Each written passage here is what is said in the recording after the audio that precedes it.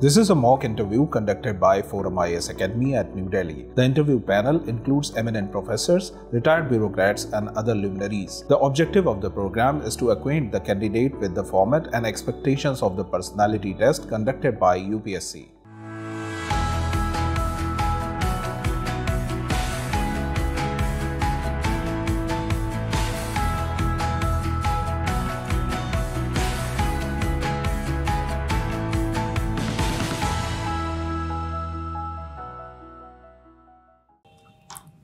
मैं coming sir please come good afternoon sir good afternoon sir good afternoon Sandeep yes sir please sit down Sandeep thank you sir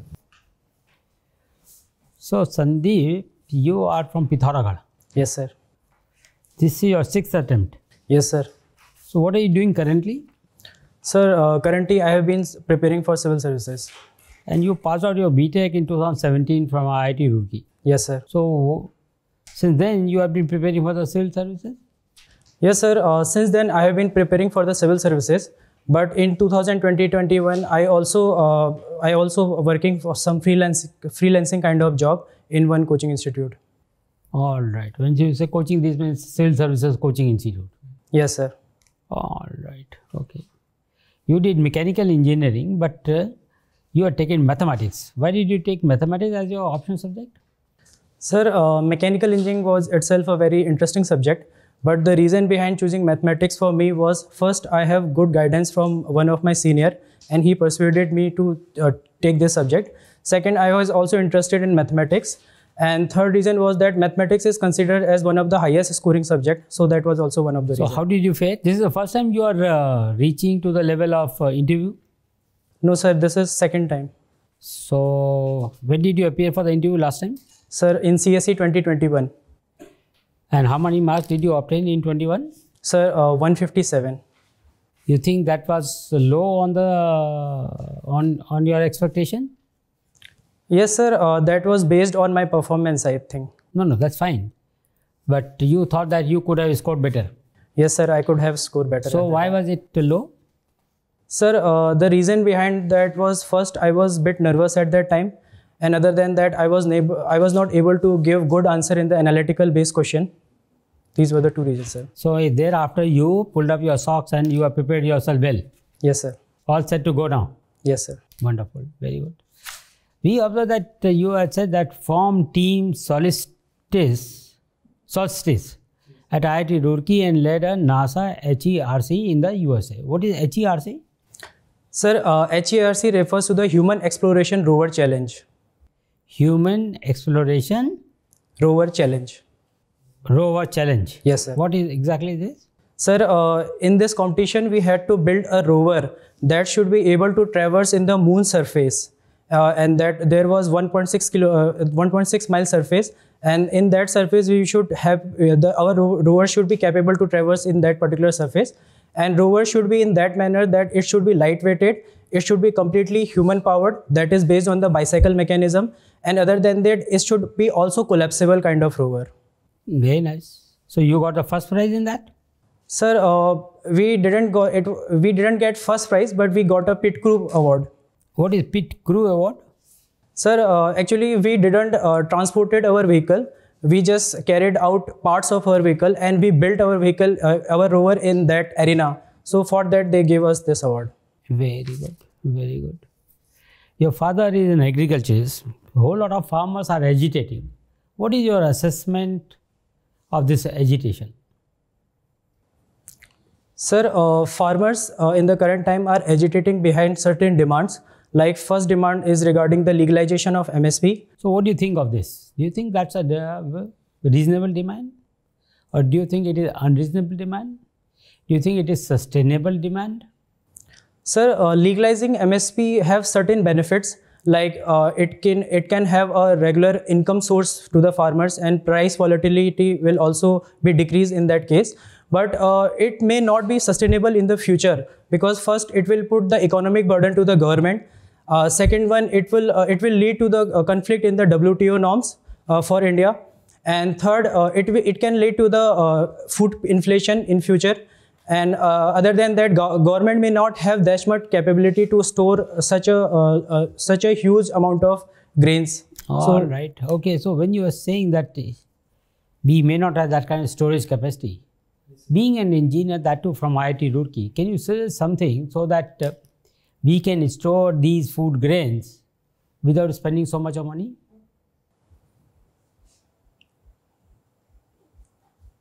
Sir, uh, I think cold storage facilities can be one of the solution, and second one can be silos approach. Uh, these two I can think of, sir.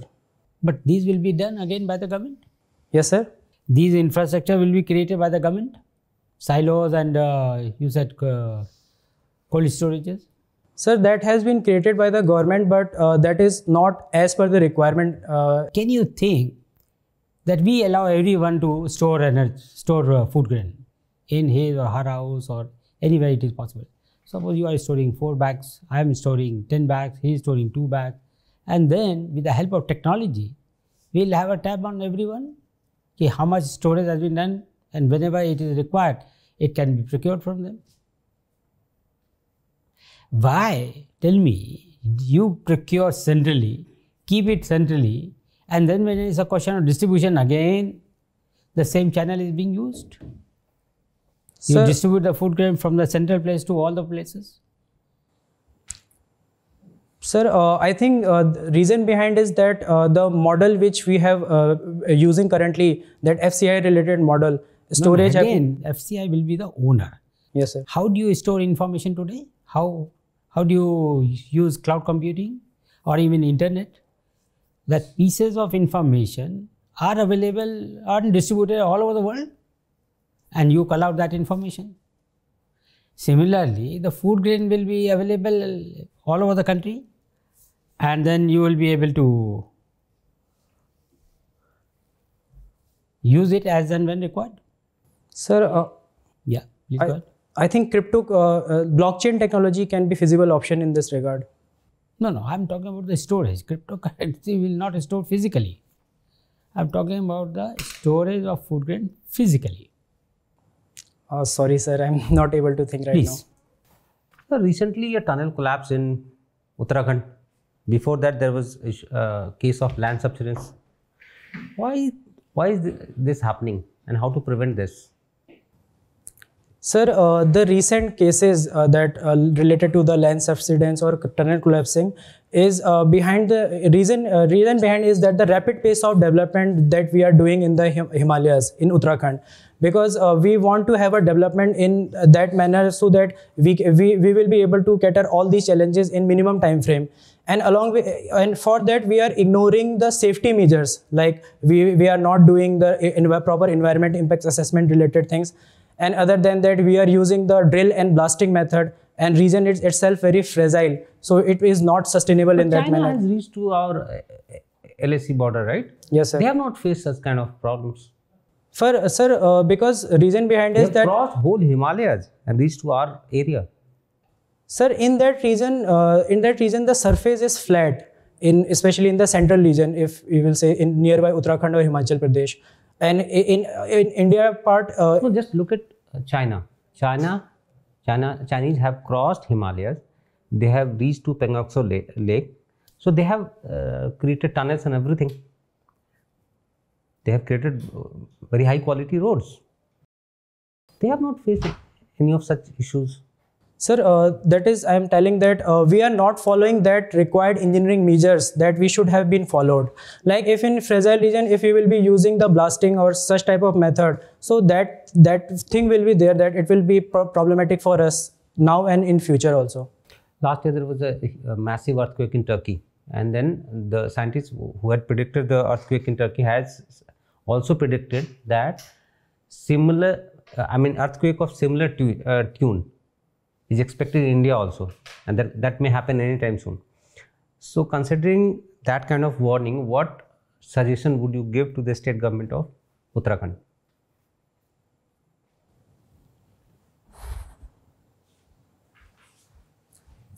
Sir, uh, first uh, we should uh, the sir first important thing will be the vulnerability assessment should be there, and second important uh, that state government should follow the NDRF guidelines uh, related to the earthquake related things, And uh, third import, uh, third crucial thing will be increase um, massive afforestation in the within the region because uh, soil erosion kind of thing happens. And fourth important measures can be uh, awareness, uh, generation of awareness among the locals to deal with such kind of disasters in future. Right. My last question to you. Why India has got a strained relationship with almost all its neighbors? Yes, sir. Why India has got strained relationship with all its neighbors? Sir, uh, currently the major uh, influence can be, uh, currently the major issue is the influence of China among our neighbors. Like in Maldives we have seen and similarly uh, Nepal has signed the BRI project with China. So that is uh, one of the important reason. And second, we have a few of the issues with our neighbors like with Nepal, we, have, we, we are having a border disputes. So this thing is also there. And third, our neighbor considers as a big brother approach of India. So these can be the probable reason due to which. Why do they consider uh, you know India showing big, big, big brother's attitude? Sir, uh, the apprehension among these countries are that uh, when we will be dealing with these particular countries, these smaller countries, then uh, it, it says that uh, they India's policy overpower them. So that may be one Why of the India's reasons. policy overpower them? Sir, uh, because they are uh, to some extent they are dependent uh, on India in terms of uh, So you agree that actually India is trying to you know overpower them? No, sir, I don't agree with that. Because India has uh, brought a neighborhood first policy and we support uh, these countries. Other than that, in recent budget, we have allocated the higher amount to these countries. And in terms of in various areas like in space diplomacy, we are providing them space uh, technologies. So India don't consider it like that. Okay. Thank you. Thank you, sir. Okay, Sandeep. So you are from Uttarakhand. Yes, ma'am. Okay, so tell me that uh, what is gender sensitizing? Okay, so how can we manage gender on gender sensitization and how can we stop gender discrimination in our society? Ma'am, uh, gender sen- sensitization refers to uh, increasing awareness related to the gender equality among the uh, male uh, towards the female. And for increasing gender sensitization in society, first uh, we can start with uh, within our society, with, within our education system, that we can have such kind of notions. Second, uh, we can influence people by uh, by having a uh, by uh, by creating uh, mediums like movies or uh, such kind of things can be there and, uh, and third important thing if government will uh, provide a, a women empowerment schemes there also it can be done ma'am Okay, and how can we stop gender discrimination? The same method we have to use? yes ma'am i think same method you have to use in that Okay, okay. So uh, you also work in uh, 3D designing. yes ma'am So tell me that 3D printing, how can we see as a future perspective 3D printing uh, in India? Ma'am, uh, in India, the scope of 3D printing is increasing. Uh, like in manufacturing sector, we can say that uh, now industries are going for the additive manufacturing uh, kind of things. And second, government is also promoting 3D printing. Uh, recently, government has launched National Additive Manufacturing Policy. And third important thing, we are also doing higher research and development in the 3D printing uh, kind of thing. And fourth uh, important thing is that within the universities, we are establishing the 3D printing labs. What is the benefit of 3D printing? Ma'am, uh, first benefit is that it provides a better designing ability. Uh, by having a better simulation, we can make a product that is more durable and qualitative. Second, it reduces the wastage amount uh, because in, in additive manufacturing, we use the few of the, uh, we use very less amount of raw materials. And third, uh, we can have a higher economy of scale by having a 3D pr- printing related products. Okay. Okay, so uh, you are also in work with NASA. Yes, ma'am. some work also with NASA. So, uh, so tell me, especially maybe you are aware about that unmanned aerial vehicle. Yes, ma'am. So, how is it uh, helpful, especially for India? Now we are working on that UAV. Yes, ma'am. So, how is it helpful, and in which sector it is helpful? Ma'am, uh, UAVs are helpful in various sectors. First, it is important for our security related purpose. Here we can do the reconnaissance activities and other than that, remote sensing can also be done. Second, uh, in agriculture sector, it has higher use uh, because uh, in uh, recently various state government has, uh, like Tamil Nadu government has So used on the the, place of drone, we can use the UAVs. yes ma'am. So on the on the uh, we can say that uh, on the place of drones, we can use UAVs, or both are the same. Ma'am, both are almost uh, same concept. I'm not exactly aware Is the technical difference between drone and UAVs? Ma'am, uh, I'm not uh, exactly aware about the technical difference between both, but I'm just referring the application where it might be used. Okay. And have you heard about the uh, HAPS, high altitude pseudo satellites?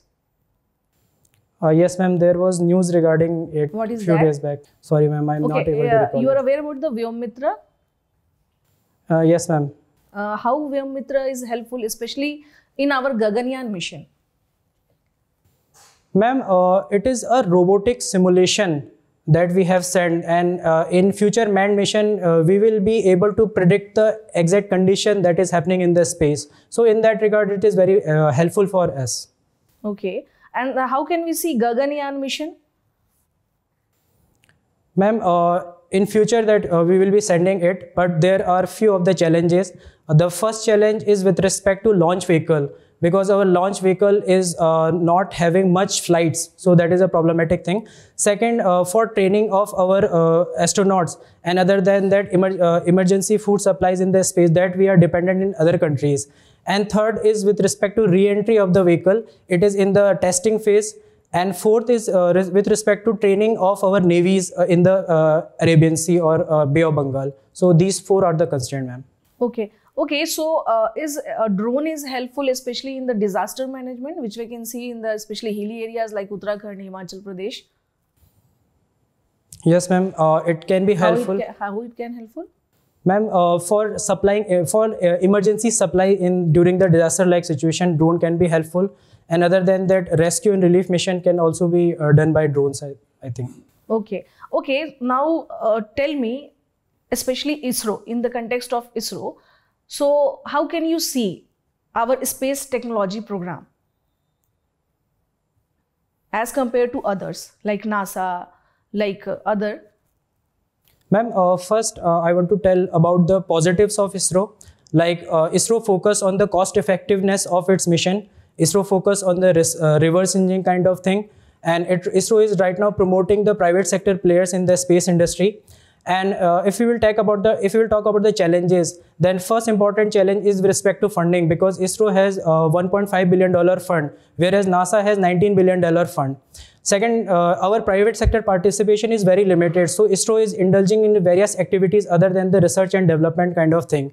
Third important thing is with respect to resources that space have. Like uh, ISRO have only two active launch vehicle, whereas NASA has five active launch vehicle. So these are the positives and uh, challenges with respect to ISRO, ma'am. Okay. Okay, my last question to you. Uh, right now, what is the biggest challenge in Uttarakhand, especially in context of women? Uh, ma'am, uh, first important challenge is with respect to increasing the frequency and intensity of the disasters in the recent time. Second is the distress migration that uh, we can see that more than 1800 ghost villages are present in Uttarakhand. And third, uh, uh, third These are related to the women of Uttarakhand. yes, ma'am. These issues are related to the women of Uttarakhand. Uh, sorry, ma'am. Actually, I I am talking about the biggest challenge of women, which is related to women in Uttarakhand. Not talking about the disaster management. uh, sorry, ma'am. Okay. That was my mistake. Uh, ma'am, uh, with respect to women, the uh, important challenges, uh, the, the crucial challenges will be first is the uh, uh, lack of accessibility towards the uh, health and education in the last mile areas. This is the biggest challenge. In Uttarakhand. Yes, ma'am. Okay, okay. Thank you, sir. Okay, Sandeep. Um, do you think creation of Uttarakhand from UP was beneficial for this state? Yes, sir. Uh, it was beneficial for the state. Okay. How? Sir, uh, first, as uh, the it was a historical demand uh, because Uttarakhand has unique uh, unique geography and the uh, hilly versus plain uh, dispute was there. So it got it autonomy. And second, in terms of economy, now Uttarakhand has Uttarakhand GSDP is around 3.3 lakh crore. And other than that, our per capita income has also been increased. Third, we are for we are developing as per own uh, requirements. Uh, like we are focusing on the tourism that it is a biggest source of employment or uh, economic activities in Uttarakhand. Can you tell me something in terms of literacy, health, education? Yes, sir. Sir, uh, in literacy, uh, we are uh, currently 80% uh, literacy rate in uh, Uttarakhand. And in terms of health, uh, there are few of the challenges, but uh, we are growing in our health sector also. And in, in terms of employment opportunity, we can say that Uttarakhand manufacturing sector is almost 49%. That is providing higher employment opportunity to our youth. So in all these areas, you mean to say कि you are uh, Uttarakhand is doing much better than UP, is it? Sir, I am not comparing it with UP because the UP has larger resources, its size is huge. But after uh, getting a separate uh, state, it has developed in its sense, sir. Okay, okay. Uh, are you uh, you might be aware of socio-economic caste census, right? Yes, sir. Okay. So uh, if suppose we implement SECC in Uttarakhand, will it have some positive effects? Yeah, it, it will become a mere political tool, like how it is being perceived as of now.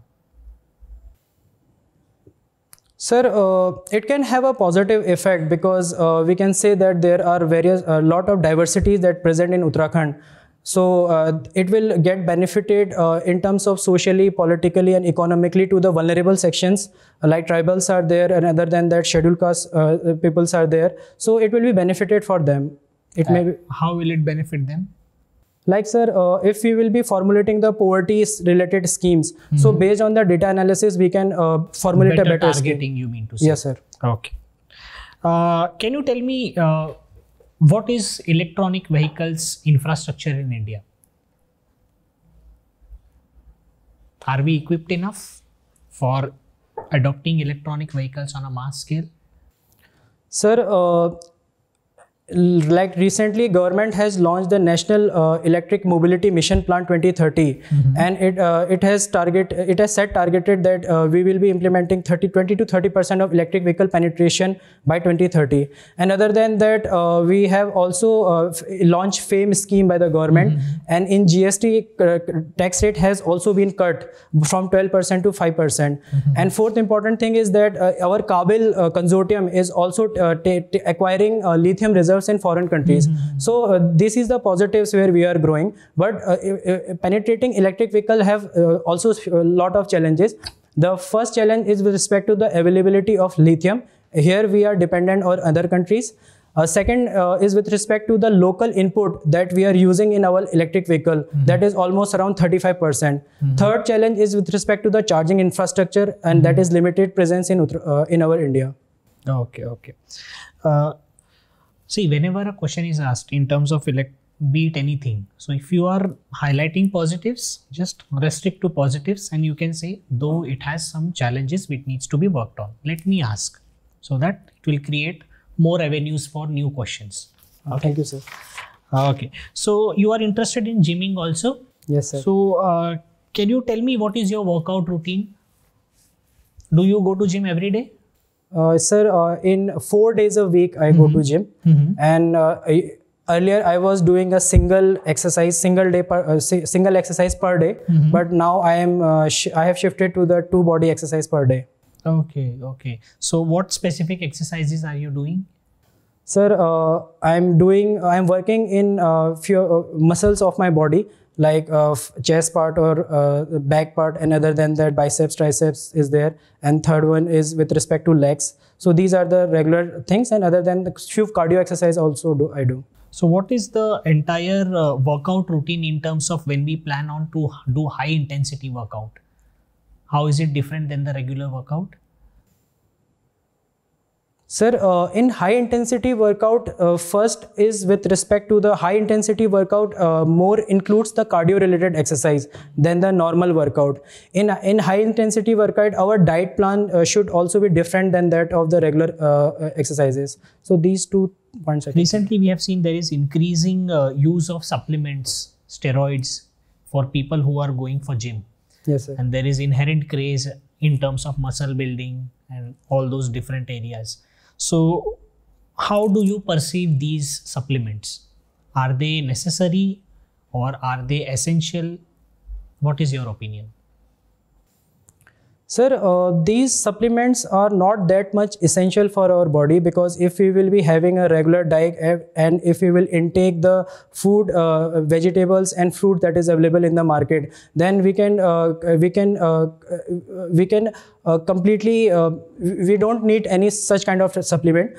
And other than that, we should have a regular diet plan for that and uh, largely this thing happens due to the wider advertisement kind of things uh, through the social media or any such channels Okay. Recently, we have seen there are increasing number of heart attacks for people who are doing high intensity workouts or pe- normal people when they are doing cardio exercises in the gym. So, can you tell me what is the reason for this? Sir, uh, the first uh, reason is that uh, people are doing high high intensity workout, but uh, they are not following regular diet. Second, uh, when pe- when people take uh, these type of supplements, then it's also affect to their body. Third, uh, there might be there are a few of the instances where uh, the, already the person may be diseased and he might not know about that and if he is doing if he or she is doing the high intensity workout it can aggravate that particular disease and lead to the uh, cardiac arrest or such kind of thing Uh, there are also claims that COVID vaccine is playing a nuisance role here. Do you believe in this? Sir uh, i have limited knowledge regarding this i may not be sure that whether it is affecting or not Okay, okay. Thank you. thank you sir Here we are taken about 40 45 minutes. There you will get only 25 minutes. yes sir So you had to be attentive only for 25 minutes so that uh, your worry will not be there. Otherwise, uh, you are fantastic. And last time you got 157. This time I personally feel that you will not get less than 175, 180. All right. Wish you all the very best. Just look into the question carefully, yes sir formulate your answer, and give a short reply. And that re- reply should reflect your viewpoints if possible. yes sir Keep a smiling face in the interview. Yes, Good luck. sir uh, i just want to ask one question sir in terms of communication means uh, You appear to be little fast in speed, but when your interview is on 27th of February, so enough time is not there, you will not be able to change that. yes sir. तो जो भी आपका natural है चलने दीजिए उसको it's fine be natural be confident and don't be scared of this interview you are already face this interview who was the chairman of your board earlier uh, sir uh, shrimati smita nagraj ma'am. Oh she was run में she is little negative अब वो चली गई है तो उसका डर आपको नहीं है. She has retired now yes sir. So all the She used to be my joint secretary in Ministry of Defense. thank you sir All the best. Good. thank you sir